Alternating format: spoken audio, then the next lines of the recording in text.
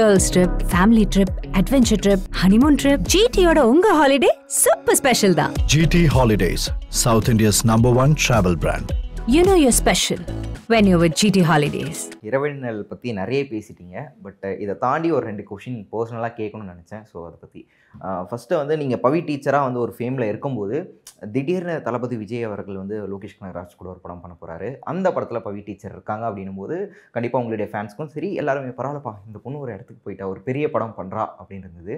But படம் ரிலீஸ்க்கு அப்புறம் ஒரு சில ஏன்னா ஃபஸ்ட்டு வாத்தி கம்மிங் சாங் ப்ரோமோலே நீங்கள் இருந்தீங்க. பட் படத்தில் வந்து நாங்கள் எல்லாருமே மிஸ் பண்ணோம். ஸோ அந்த ஃபீல் உங்களுக்கு எப்படி இருந்தது? அகைன் அந்த வாய்ப்பு பற்றி பேசினல ஸோ முதல்ல ரொம்ப சந்தோஷமாக இருந்தது. ஆக்சுவலாக ஒரு லெவல் வேணும். எல்லாருக்குமே ஒரு லெவல் வேணும். ஸோ இப்போ சான்ஸே கிடைக்காம இருந்த எனக்கு விஜய் சார் பக்கத்தில் நிற்கிறதுன்றது ரொம்ப பெரிய விஷயமா இருந்தது எனக்கு. ஸோ அதனால் அவ்வளோ ஒன்றும் நான் ஃபீல் பண்ணதில்லை. பட் உள்ளே ஏங்குவோம்ல. நம்ம இது நடிச்சிருக்க கூடாதோ? இல்லை நம்ம அட்லீஸ்ட் கௌரி கேரக்டர் கூட நம்மளுக்கு கிடச்சிருக்காதோ? அப்படின்லாம் நான் நிறைய வாட்டி ஏங்குவேன்.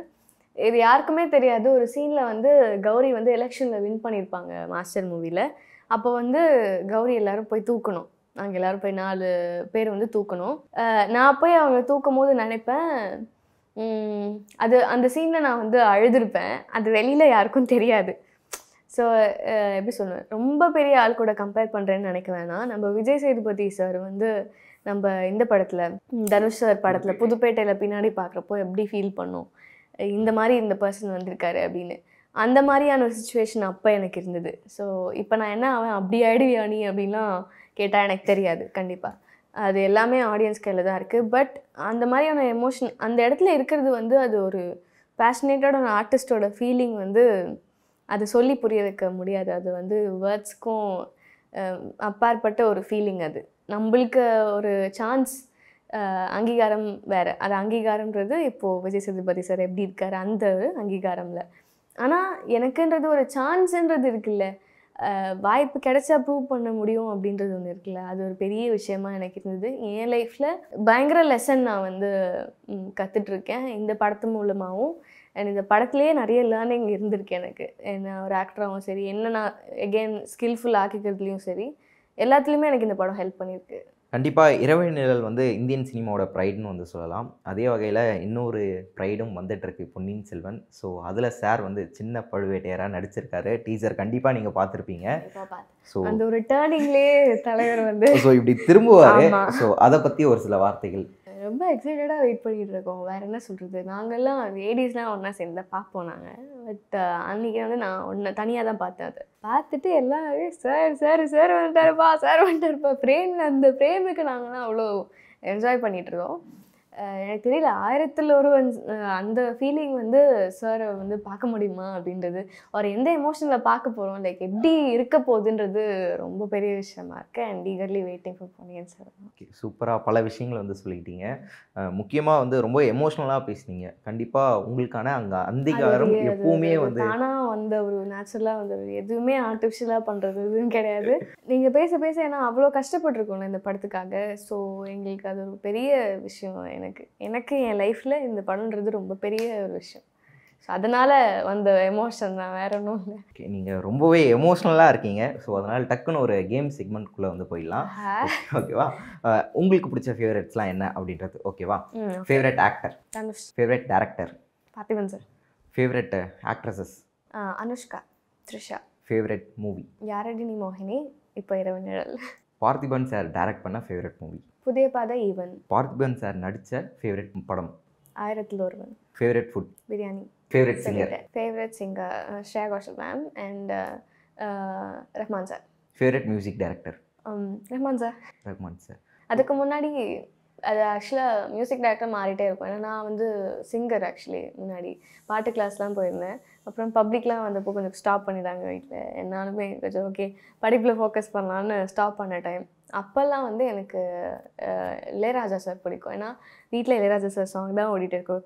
காரில் ட்ராவல் பண்ணாலும் அப்பா வந்து யூஸ் டு ஹியர் அப்பா dancer so use to hear lot of Ilaiyaraaja sir song then பழைய எஸ்பிபி சார் சாங்லாம் அதெல்லாம் கேட்டு கேட்டு அந்த சாங் பிடிக்க ஆரம்பிச்சிது. ஸோ அது அண்ட் மிடில் யுவன் சங்கர் ராஜா அவர் சாங் யா அந்த ஒரு. அந்த ஒரு யா டீனேஜ் டைமில் அந்த மூட் இப்போ ரஹ்மான் சார் ஆப்வியஸ்லி பார்த்திபன் சாரை உங்களுக்கு டேரக்டராக பிடிக்குமா ஆக்டராக பிடிக்குமா? ஹைப்போவா?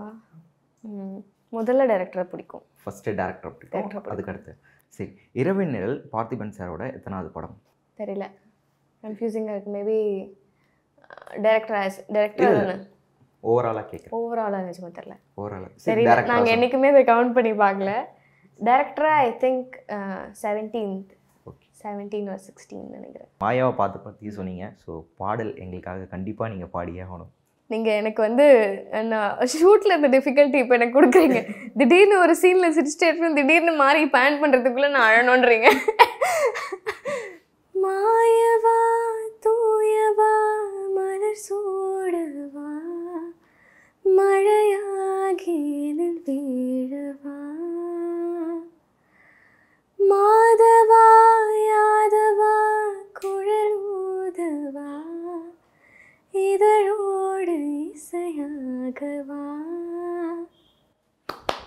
சூப்பர். ரொம்பவே அந்த டிவைன் மூடுக்கு டக்குன்னு வந்து கொண்டு போயிட்டீங்க அப்படின்னு தான் வந்து சொல்லணும். அதே மாதிரி ரெண்டு விஷயம் படத்தில் வந்து முக்கியமாக நோட் பண்ணது. ஒன்று வந்து எல்லாருக்கும் கண்டிப்பாக தெரியும். முன்னாடியே வந்து சார் சொல்லிட்டாரு. அதாவது ஷூட் போகும்போது முன்னால் வச்ச பிரியாணியை வந்து அணிக்க வச்சுட்டாங்க. வேறு வழியே இல்லாமல் சாப்பிட்டேன்னு வந்து சொன்னார். இன்னொரு விஷயம் மேக்கிங்கில் வந்து காட்டியிருந்தாங்க. அதாவது நோட்டு மிஷின் வந்து டக்குன்னு வந்து பார்த்திங்கன்னா ஸ்டக் ஆகிடும் அதுக்காக மறுபடியும் முதல்ல இருந்து போகணுமான்னு சொல்லிட்டு டக்குன்னு அந்த ஸ்பாட்லேயே ஒரு டைலாக் வந்து போட்டிருப்பாரு. உடனே கண்டினியூ ஆகிட்டு இருக்கும் ஆனால் அந்த டைமில் உங்களுக்கு என்ன சொல் டக்குன்னு இருக்கும் இல்லையா? ஒரு ஸ்பான்டேனியஸாக ஒரு விஷயத்தை வந்து யோசித்து பண்ணுறாரு அப்படின்னும் போது நீங்களே ஏதாவது கிளாப் பண்ணுறதோ இல்லை ஏதாவது சின்ன டிஸ்டர்பன்ஸ் ஆயிருக்கல அதை பற்றி அந்த அந்த பிளாக்குள்ளே நான் போகல ஏன்னா அதுக்கு முன்னாடி தான் என் போர்ஷன் முடியும். ஸோ நான் என் போர்ஷனில் இருப்பேன். அதுக்கப்புறம் கேமரா போயிட்டதுக்கப்புறம் பின்னாடியே யாரும் போக முடியாது கேமரா பின்னாடி. ஏன்னா மூவிங்லேயே இருக்கும் இல்லையா? ரைட் பேன் ஆகும் லெஃப்ட் பேன் ஆகும். கேமரா பக்கத்தில் கேமரா ஹேண்டில் பண்ணுறவர் அண்ட் அவர் கூட ஹெல்ப்பர் டைரக்ஷன் காட்டுறவர் அவர் கூட ஒரு ஹெல்ப்பர் அண்ட் ஃபோக்கஸ் பில்லர்ஸும் இருப்பாங்க. ஸோ இதை தாண்டி வேறு யாரும் பக்கத்தில் இருக்கக்கூடாது அந்த ஆக்டர்ஸ் இருப்பாங்க அந்த பிளாக்ல ஸோ நான் பின்னாடி போய் பார்க்கல. பட் அந்த அங்கே ஸ்பாட்டில் எக்ஸ்பீரியன்ஸ் பண்ணவங்களாம் சொன்னாங்க. அவங்களாம் சிரிச்சிட்டாங்களாம். பயங்கரமாக சிரிச்சிட்டாங்க அந்த அந்த சீன் நடக்கிறப்போ. இப்போ கட் பண்ணுமா வேணாமா? நான் சாருக்கு பேக்ரவுண்டில் கட் பண்ணிடுவாங்களோ தெரியாமல் கட் ஆயிடுச்சு அவ்வளோதான்னு சொல்லிட்டு ஒரு பயம் வந்தது. எப்படியோ- பேசினதே கட் ஆகக்கூடாது அப்படின்றதுக்காக தான். அவங்க அவ்வளோதான் திட்டுறாரு நிஜமாவே அவருன்னு நினச்சிட்டாங்கன்னு சொல்லிட்டு பயந்துட்டாங்க. பட் நல்ல வேலை ஆகாஷ் ப்ரோ வந்து கேமரா நிறுத்தாம கண்டினியூ பண்ணது ஒரு நல்ல விஷயம். இல்லைன்னா கண்டிப்பாக அன்னைக்கு எங்களால் டேக்கே எடுத்துருக்க முடியாதுன்னு சொல்லலாம். Thank you so much for. Your valuable time அது வந்து பாபா பர்த்டே ஆகஸ்ட் ஃபிஃப்டீன்த்து ஷூட்டில் இருந்தார். ஸோ அவங்க ரெண்டு பேரும் வந்து ஸ்கூல்ல இருந்து பிக் பண்ணிவிட்டு இங்கேருந்து கண்டிப்பேட்டு ஒரு த்ரீ ஹவர்ஸு ஓகே. இப்போ பசங்களை கூப்பிட்டு போயிட்டு பாபாவோட ஃபோட்டோ எடுத்துருந்தோம். இது ஆகிப்போச்சு ஒரு ஃபிஃப்டீன் இயர்ஸ் இருக்கும்னு நினைக்கிறேன். ஓகே மேம் தென் அது வந்து பாபாவுக்கு ரொம்ப க்ளோஸில் க்ளோஸாக வந்து இந்த பக்கத்தில் இருக்கார் பாருங்க. பாலகிருஷ்ணன் பாலகிருஷ்ணன் சார். பாலகிருஷ்ணன் சார். பாபாவுக்கு ரொம்ப பிடிக்கும். ம். அவர் வந்து பாபா வந்து அண்ணன் தான் கூடுவார் ஓகே. பாபா வந்து அவரை வந்து அண்ணன் தான் கூடுவார் அவ்வளோ ரெஸ்பெக்ட் ரெண்டு பேரும் மாற்றி மாற்றி வச்சு ரெஸ்பெக்ட்ன்றது ஒரு லவ் லவ் கல்மிஷம் இல்லாத ஒரு மனுஷர் அவர் பாலகிருஷ்ணன் சார். சிரஞ்சீவி சார் பற்றி நான் சொல்லவே வேண்டாம். Number one hero Andhra Pradesh அப்புறம் வேற என்ன இருக்குது பெருசாக சொல்கிறதுக்கு